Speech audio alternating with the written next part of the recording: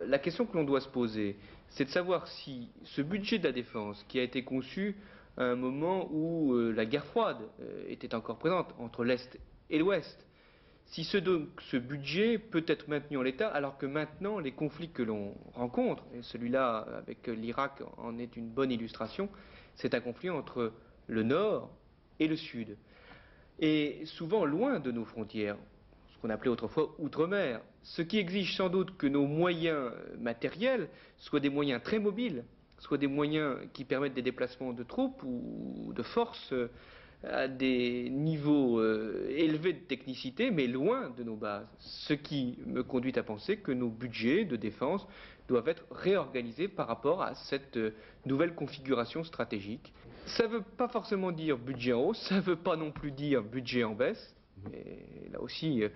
on est, à mon avis, loin des débats d'il y a quelques semaines. On pensait qu'on allait diminuer le budget militaire. Non, ça veut dire peut-être le même budget, mais avec des orientations différentes. La logique de guerre, est-ce que ça semble tout cela inéluctable ou pas? Je crois que le président de la République a montré qu'il y avait une tension nouvelle, qu'il y avait des menaces euh, très précises sur euh,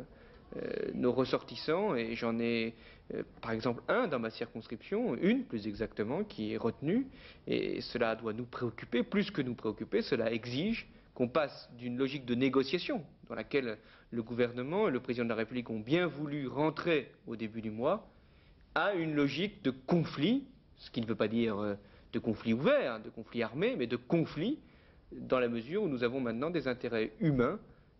qui sont en cause dans cette région du Golfe.